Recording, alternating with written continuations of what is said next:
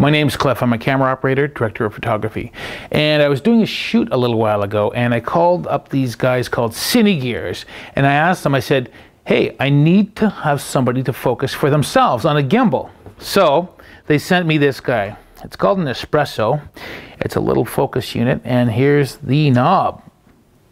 It goes to a motor and of course right away I said to myself, is this going to be one of those units that I got to do and press 100 buttons I got to learn 100 menus, and that's the problem with me. I don't want to learn the menus. I don't want to go through books. I don't have time to go on the internet because we're shooting quickly. So the guys showed me how to set this up, and it's very easy, which I was very impressed with. I was able to send my fourth operator on a feature out to do some movie pickup shots of just some crowds and independent things, focusing himself, which really works out well. So we have focus unit called Espresso a motor. And the great thing about this motor is it's the motor driver box, the receiver is in it. So then I'm gonna save room on my camera and it's gonna be quicker to set up, which is awesome. So I take my motor, I plug my motor in right here, great. I'm gonna take my D-tap, plug it into the battery. So I plug that into the battery right there. And now hit that button, turn it on. There, great. To pair this, I press this for three seconds. One, two, three. It turns green. And I have a limited time, so I want to press all three of these buttons for three seconds. One, two, three. Now, it's synchronized. And that was easy. I did that in minutes, seconds, what? And now I'm working. It also is nice and slow. It's nice and fast. Now, what we did was we threw this on a gimbal, and you're going to watch some gimbal footage where we had our gimbal operator running around on a job doing some stuff. Now, the world of gimbal stabilization, which I have one uh, myself, this is what it's made for. The operator can put this on a gimbal with a phenomenal clamp they have. He can roll his thumb as he operates. And then on set, we had a problem where, hey, how do you take this and give it to somebody who's a focus puller? They want a bigger knob. So what we did was grab this out of the box, and it was really phenomenal. My focus puller jumped in, was able to focus my Movi operator, or gimbal operator, or Ronin operator, or brushless gimbal operator. He was able to focus him with him watching the monitor so he'd watch the monitor and he was able to focus. Went about 30, 40 feet. It was great. We were able to do a shot. We had a guy running, chasing a guy with a gun on a 35 mil at T18. And this could do the job just fine.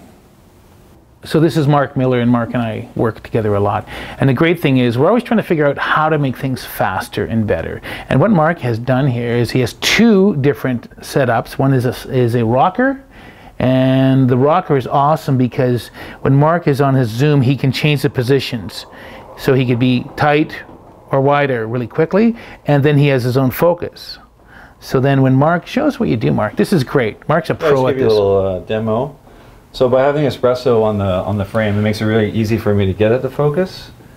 And so this is what I do. So I'm operating, I'm able to get some nice focus. So I can come up to an object, Get a little depth of field, come off. Nice. So I'm very happy. So Mark has full control of the focus. Now, if I want to step in here and, I want to say, hey, Mark, I, you're going to transmit to me. I'm going to have a monitor. I'm going to be ready. So I would just come up to Mark and I would come up with another unit. And I would just hold the button down here for three seconds. One, two, three, it's blue and it turns to green. When it is green, I do this three buttons. One, two, three one, two, three seconds. And now I am paired to Mark, so I am focusing Mark. So then I can actually help Mark walk behind him in focus.